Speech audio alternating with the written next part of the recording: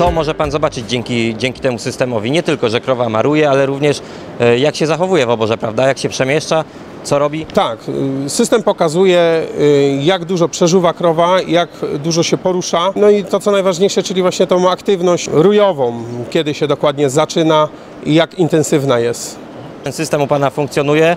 Rozumiem, że efekty na konkretnych liczbach może już Pan podać, jak to obecnie wygląda, jak się to zmieniło. Tak, przy ostatnim badaniu, w którym badaliśmy 25 krów mlecznych, y, 21 było cielnych, więc to jest bardzo dobry wynik u młodzieży, y, z których też było badane około 20 sztuk.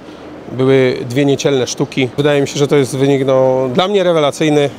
Jestem z tego systemu tym bardziej zadowolony. Pomagało mi jeszcze to, że nadajniki posiadają diodę, która zapala się, jeśli zaznaczę daną krowę. E, Ułatwiało mi to tak krycie w e, wieczornych porach, gdzie ta dioda naprawdę z daleka już się e, intensywnie świeciła. Łatwiej było wychwycić krowę na oborze. Jest z nami Pan Michał Zdunek, właściciel marki Cow Monitor, czyli systemu do wykrywania rui, który został zainstalowany w gospodarstwie Pana Mateusza Sarowskiego. Panie Michale, to jest w pełni polski produkt. Tak, to jest polski produkt, polska myśl, polski kapitał.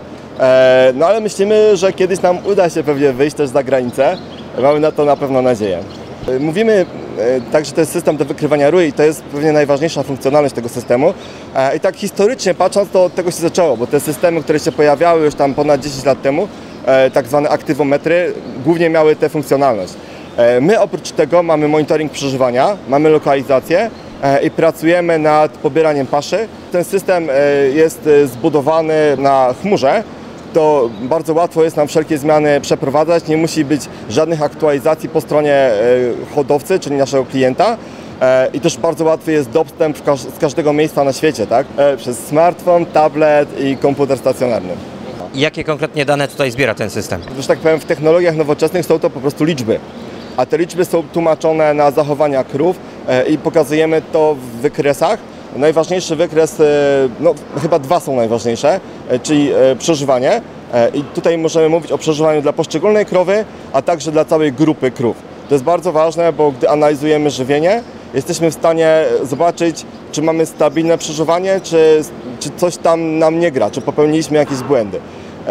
Monitorując to w ujęciu jednego, trzech dni, pięciu bądź przewijając, tak, na przykład na cały miesiąc, możemy stwierdzić, e, w którym miejscu jesteśmy, jaka, jaka jest stabilność tej produkcji. E, Kolejnym wykresem e, bardzo ważnym jest aktywność z dużym naciskiem na aktywność rujową. To jest ważne, żebyśmy potrafili e, opowiedzieć i pokazać e, każdemu hodowcy, kiedy kryć co do godziny. Zasada jest następująca. Patrzymy na początek rui, to w tym mie- miejscu wykresu, Podsumowując e, temat całego systemu, tak naprawdę jest on dostępny dla każdego hodowcy. Nie potrzeba jakiejś wielkiej obory, żeby móc korzystać z niego.